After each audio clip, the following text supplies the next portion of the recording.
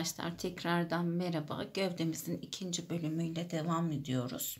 16. ve 20. sıralarımızı 84 sık iğne ile 5 sıra boyunca ördük. Şimdi 21. sıramızı geçmiş bulunuyoruz. 21. sıramızda bir 2 3 4 5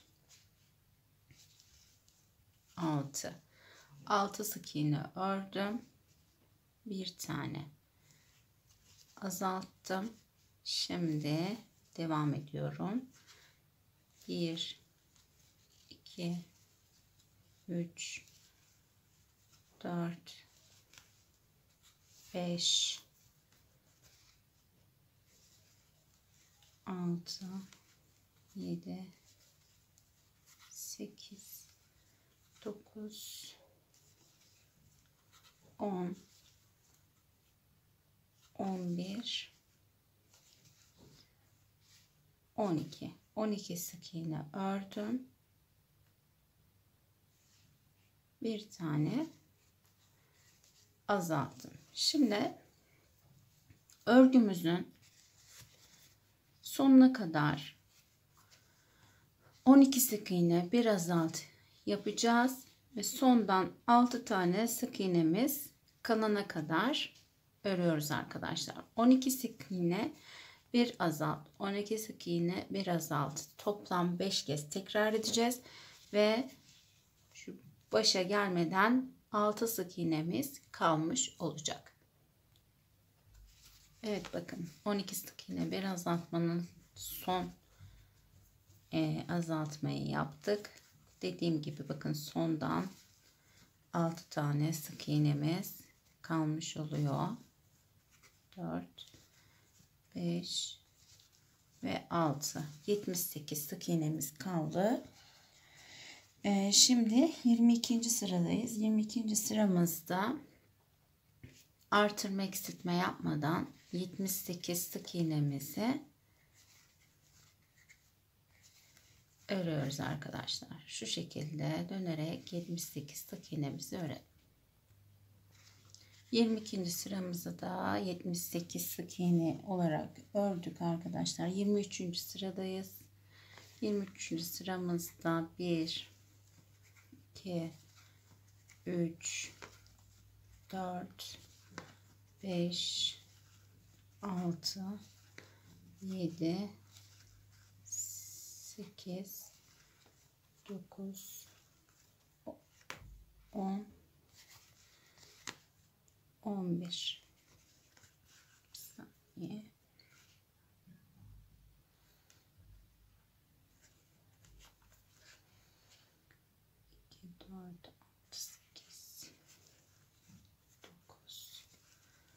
10 11 11 sık iğne ördüm. Bir tane azalttım.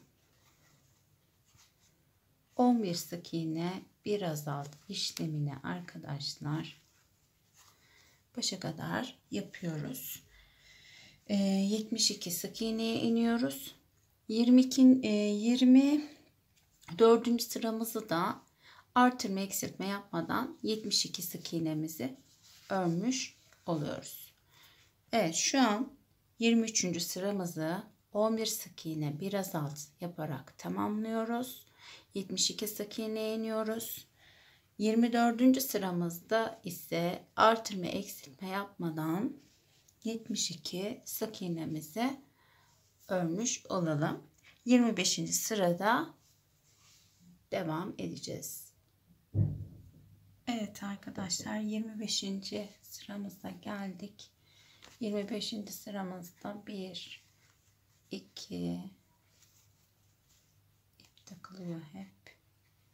Tekrar öreceğiz. 1 2 3 4 5 5 sık ördüm. Bir tane azalttım. Şimdi 1 2 3 4 5 6 7 8 9 10 10 sık iğne ördüm bir tane azalttım şimdi bundan sonraki örgümüzde 10 sık iğne bir azalt yapacağız. Burada sonda kalan 5 sık iğnemizi de tekli olarak örmüş olacağız. Yani 66 sık iğneye inmiş olacağız. Evet 10 sık iğne bir azaltmanın 5 kez tekrar edip sonuncu e, azaltmamı yaptım. Bakın burada 5 sık iğnemiz kalmış oluyor. Şimdi 26. sıraya geçiyoruz. 26. sırada artırma eksiltme yapmadan 66 sık iğnemizi örüyoruz arkadaşlar. Evet arkadaşlar 27. sıradayız. 27. sıramızda ise 1 2 2 3 4 5 6 7 8 9 9 sık iğne bir azaltı yapıyoruz. Bu sırayı da 9 sık iğne bir azaltı yaparak tamamlıyoruz. 60 sık iğneye inmiş olacağız. 28. sıramızda ise arkadaşlar artırma azaltma yapmadan 60 sık iğnemizi bu şekilde düz bir şekilde örüyoruz. Hiçbir işlem yapmadan sadece 60 sık iğne olarak öreceğiz 28. sırayı. Evet 27. sıramızda 9 sık iğne bir azaltı yaparak 60 sık iğneye inmiştik.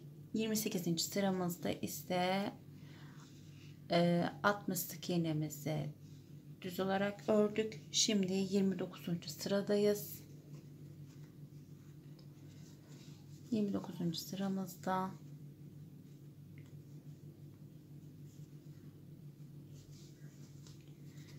bir 2 3 4 4 sık iğne biraz alt yaptım şimdi 1 2 3 4 5 6 7 8 8 sık iğne ördüm. Bir tane azalttım. Şimdi 2 3 4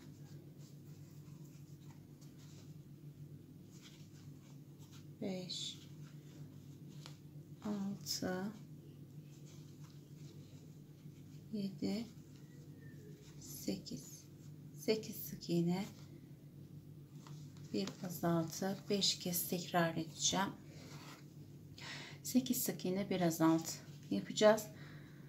Burada 4 tane sık iğnemiz kalmış olacak arkadaşlar 54 sık iğneye inmiş olacağız Evet 5 kez 8 sık iğne bir, e, bir azaltı yaptık kalan 4 sık iğnemizde tek olarak örüyoruz.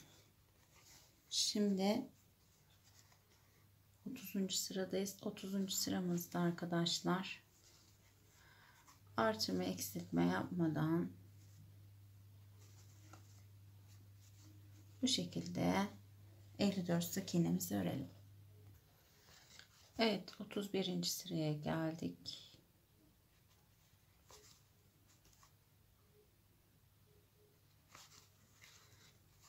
1 2 3 4 5 6 7 7 sık iğne bir azalt yapıyorum.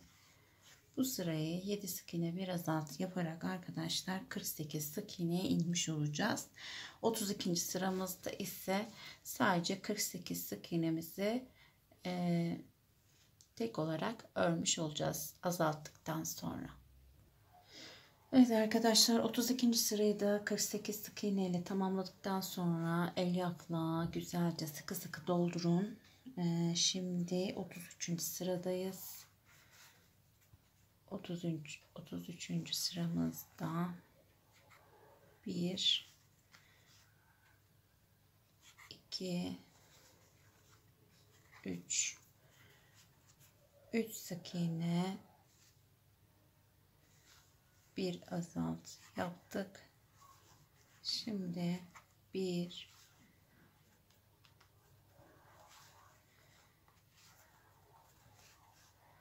İki. Üç.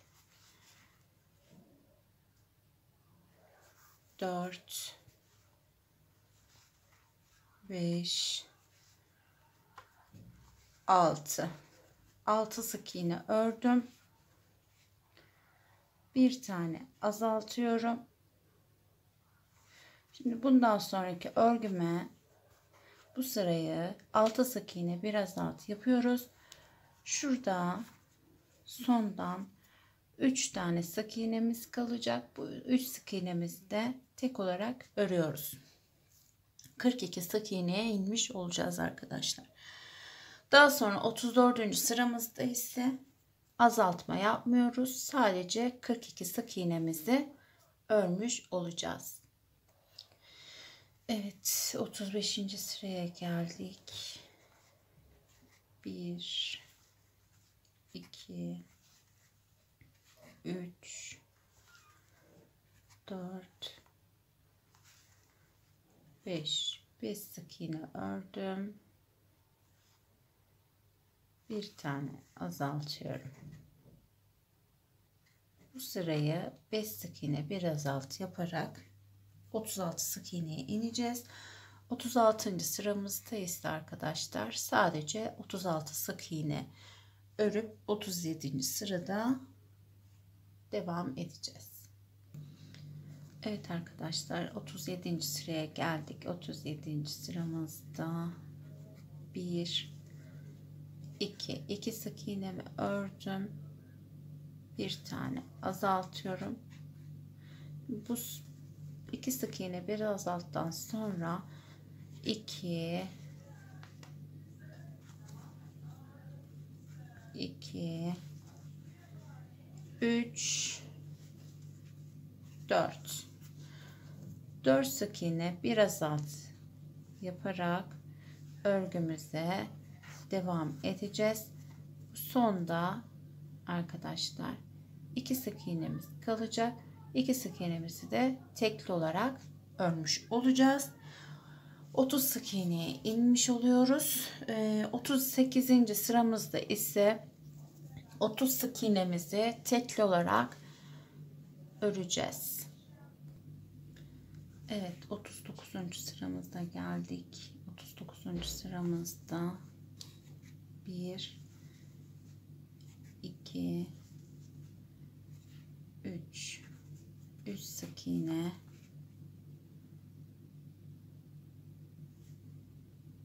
Bir azalt.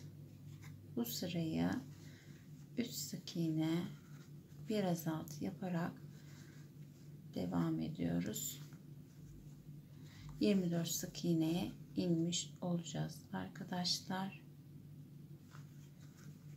ve son olarak 40. sıramızda da tek olarak 24 sık iğne örüp bitiriyoruz. Evet arkadaşlar 40. sıramızda 24 sık iğne ile ördükten sonra iyice doldurduk bakın böyle sert olacak. Şimdi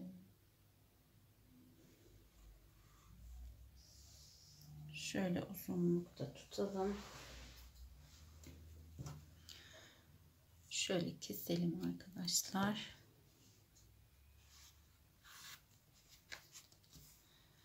iğnemizi geçireceğiz.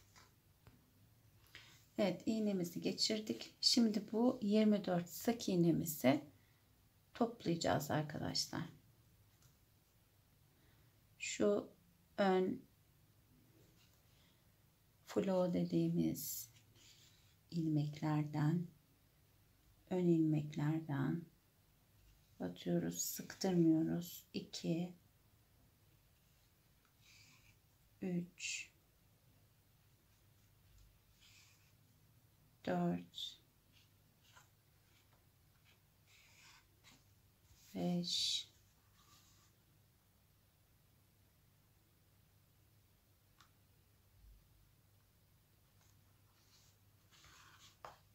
altı. Yedi. Sekiz. Dokuz. On. Şimdi on tane yaptık. Birazcık sıktıralım. Evet devam ediyoruz 11 12 13 14 15 16 17 18 19 20 şimdi biraz daha sıktırıyoruz. Biraz içine elyaf koyuyoruz arkadaşlar.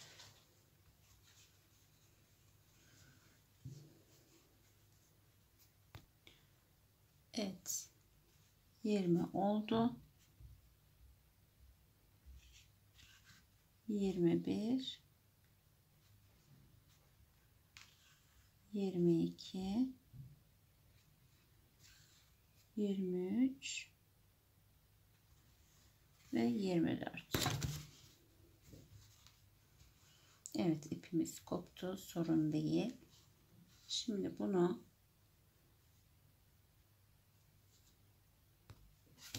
Evet arkadaşlar hallettim ben. Şöyle içine alacağım orayı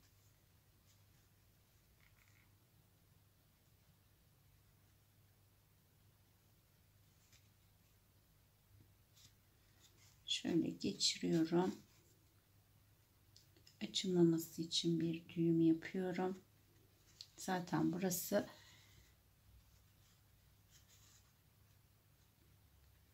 şey e, kafanın içinde kalacak.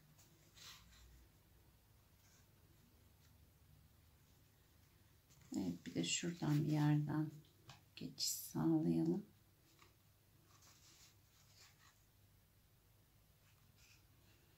Evet düğümümüzü yaptık. İpimizi ilerletiyoruz içinden açılmasın diye. Evet gövdemizde bu şekilde bitmiş oldu arkadaşlar.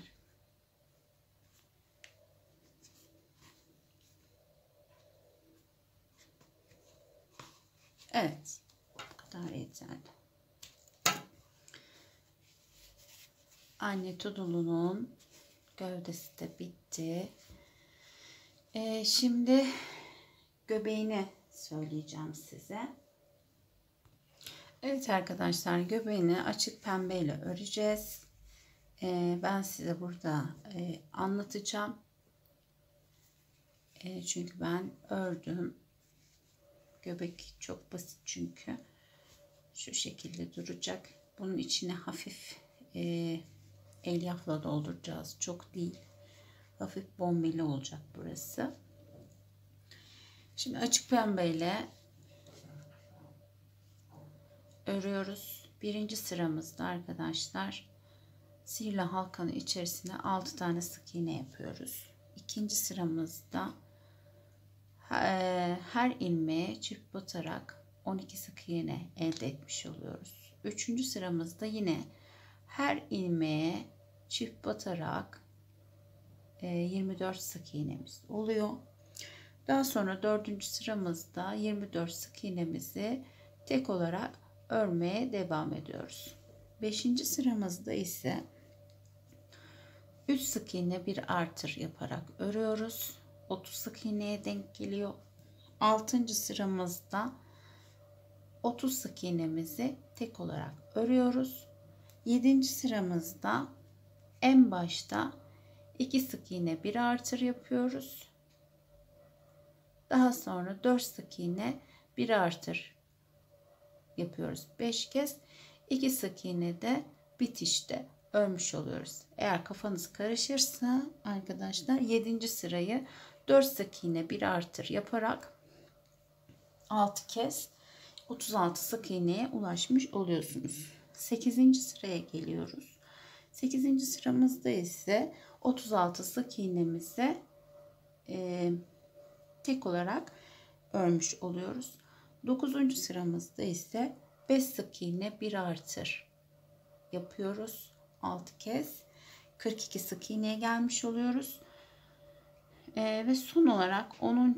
sıramızda ise 42 sık iğne yaparak göbeğimizi oluşturmuş oluyoruz yuvarlak kısmını. Daha sonra 42 sık iğneyi ördükten sonra arkadaşlar 9 sık iğne örüyoruz. 9 sık iğne ördükten sonra bir zincir çekip 11, 12, 13, 14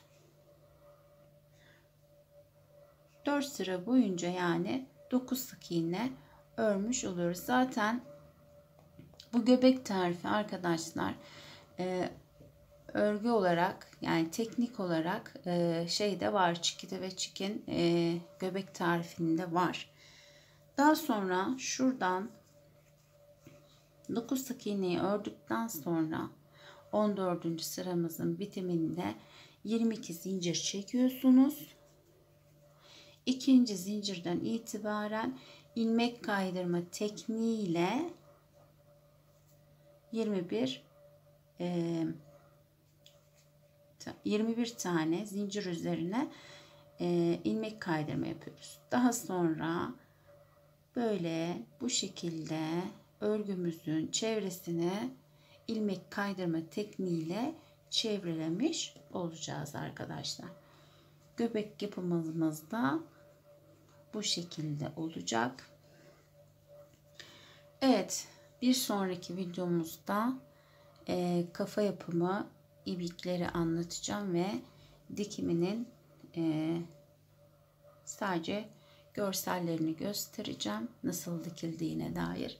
Zaten e, çikide ve çikin dikimeniyle aynı arkadaşlar. Değişen bir şey yok aslında.